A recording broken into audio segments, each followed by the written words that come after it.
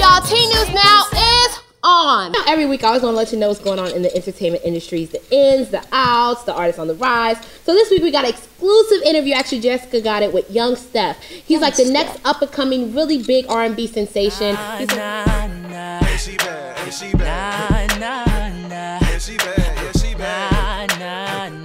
she bad.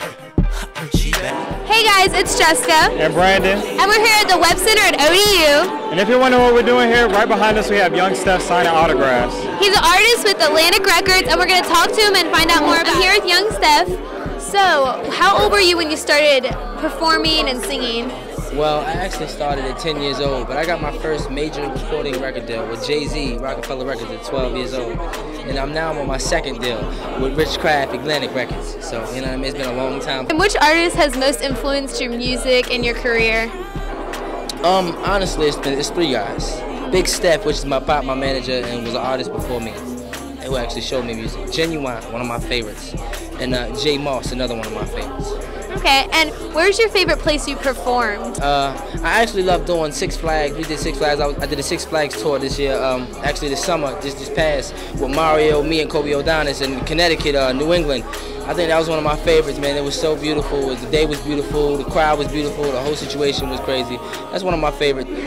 And how do you um, manage your life being Steven Goldsboro and Young Steff? Like, how do you balance the two lives? Well, uh, being Stefan goes, bro. Oh, Stefan, sorry. Yes. She's crazy. it's all love, though. Um, it's really a good thing. Uh, to be honest with you, it's just um, I keep God first. You know what I'm saying? To keep a level head. You know, to be honest with you, I'm a spiritual dude. At the end of the day, Now, what's your favorite song you've composed?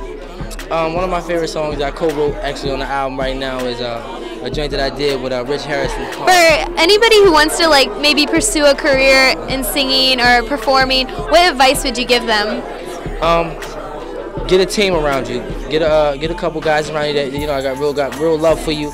And what's your latest single that just came out? Um, my latest single was called Slow Jukin'. Now, Um, it's actually a dance that we all can do. You know what I'm saying? It's called Slow juking. Definitely. we'll have you show us that at the end.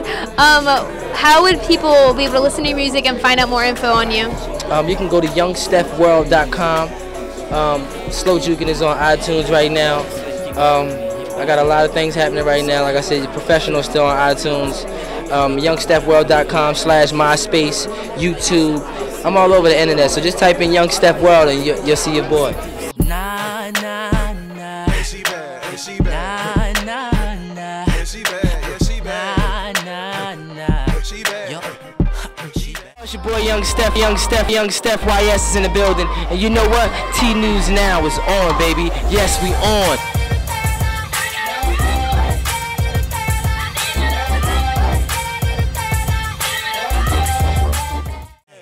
Yeah, She bad.